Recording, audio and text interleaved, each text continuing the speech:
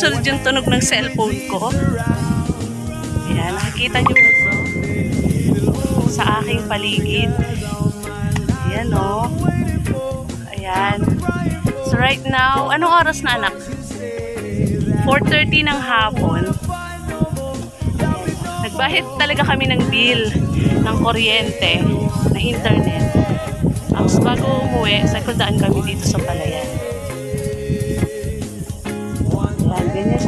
Kaganda.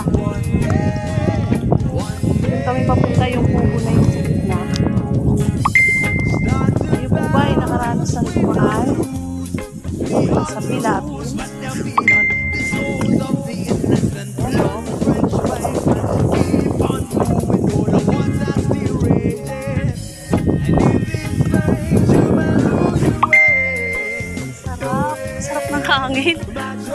Ayan o, ang ganda ng paligid. Tapos bundok-bundukan.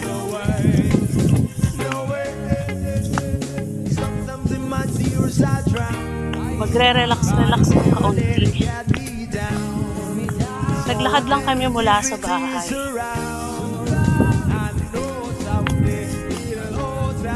Masarap kasi mag-relax dito eh. Hindi ako makatingin masyado sa camera. Kasi baka magkamali ako. Eh, ma-shoot ako rito. Ayan o. O, diba? Pag nagkamali ako, malaglag ako dyan. Panalo. Ayan. Gusto, gusto ko lalo to pag ano, pagkahinog na yung mga palay. Oh, ang ganda talaga. Parang nakakalimutan ko na ako'y tao. Feeling ko ako'y diwata. diwata ng palayan.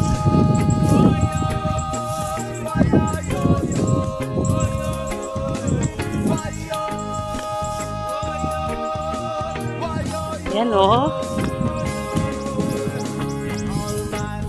Kita niyo ba yung mga bundok-bundok na yun na maliliit? Ang lapit lang yan. Tsaka ang liliit.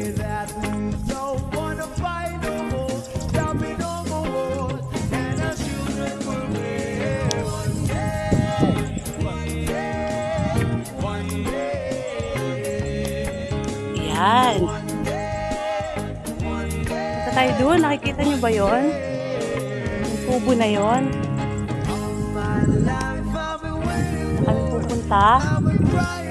At may dala-dala kaming kalamares. Habang nagpapahangin. Times are late under the moon, and I thank God I'm breathing. Actually, naglakad ako kami. It's part of my exercise. So today is August 4. my tears I dry. From 84, I'm down to 78. No one negativity surround Okay ka lang? Ang bagal maglakad. around me. Yes, all my life I've been waiting for. Ayan o. For, for the people to say that we don't wanna fight no more. So dyan kami. Tatambay. We'll play one day. Ito yung pahingahan na magsasaka. Pero dito lang kami sa labas. Ayan. So, nilakad ko siya for about 4 minutes. Wow, grabe. Naririnig niyo ba yung hangin? Ah, mga kabungisnis, naririnig niyo ba? Ayan o. Kita niyo ba yung paligid na yan? Oh my.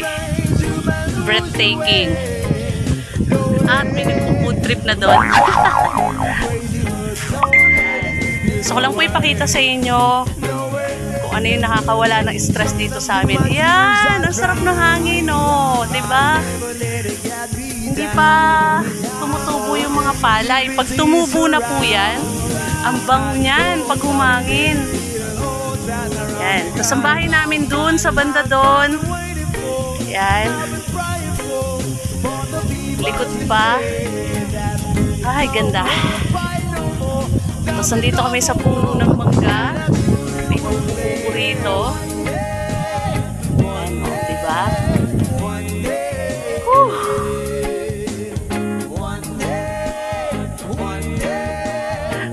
Grabe yung buhok ko. Hindi na malaman ko saan direksyon pupunta.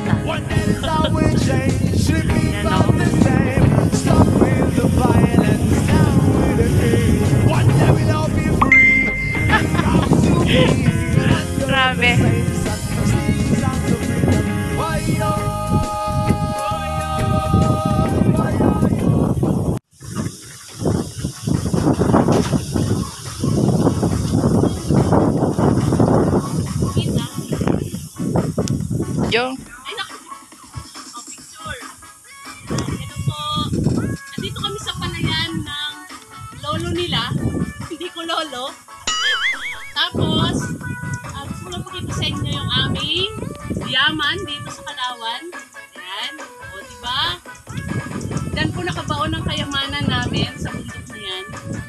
Tapos, ito yung mga palayan. Wala pang bunga. And, ito yung punong mangga. So, dito kami nagtatambay minsan. Mahangin. Oh, di ba?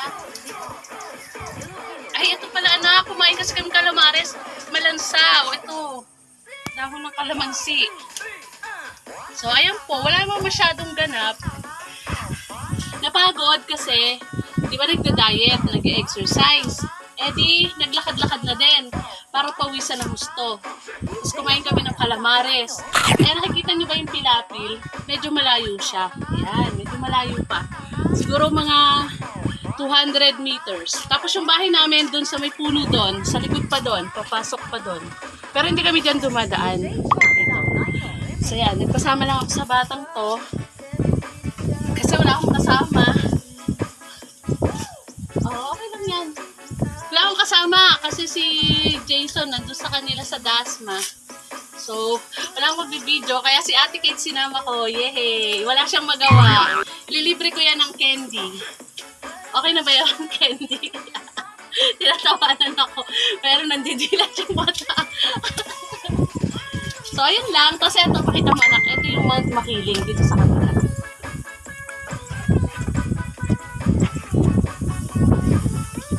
Ayan. Ito yung Mount Makiling. Kaya lang medyo, ano na siya eh, foggy na. So, medyo madilim na. Kaya, pwede na umuwi. At pwede nang bumili ng maiinom. So, mag ano lang kami dito. Papahangin ng mga 2 minutes pa. Uwi na kami. Ay, mga kabusngis. Feeling ko ang dami kong pera. Kasi tinitingnan ko yung mga dahon ng ano, ng palay. Kung pera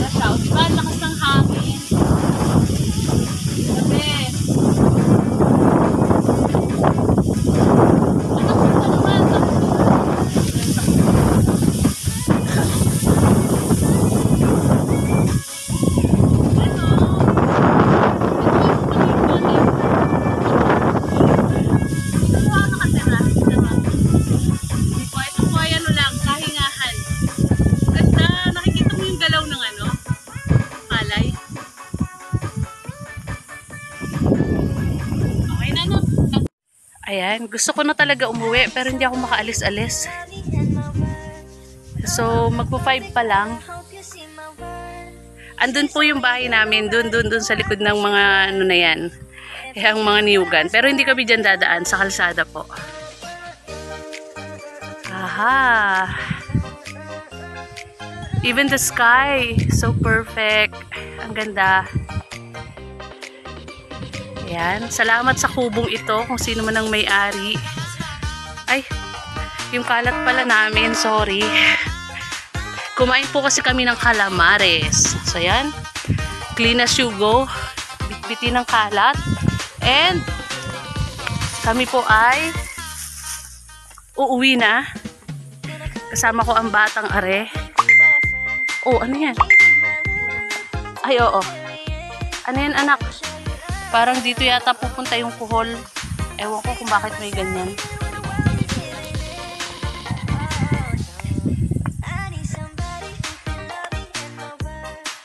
Perfect view.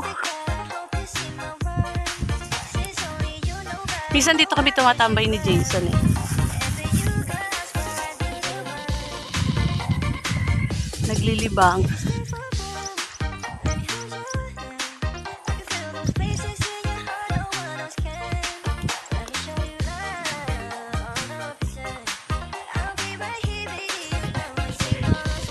Yan, kami uuwi na. Ayun, no. Nagmerienda lang kami ng calamares. Sabi ko, mas masarap doon sa gitna ng palayan. Ayan, ang lapit lang ng aming bundok. Tsaka ito pa isa. Naakyat na namin yan nung nag-tree planting kami.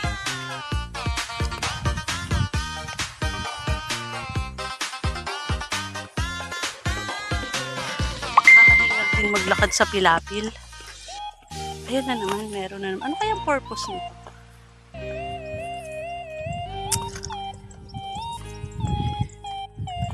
Makikiraan po.